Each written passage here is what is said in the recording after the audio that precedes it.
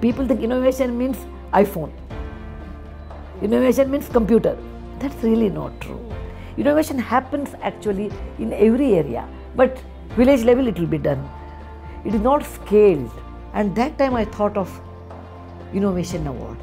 Aarohan Social Awards, Avishkar Dil Se.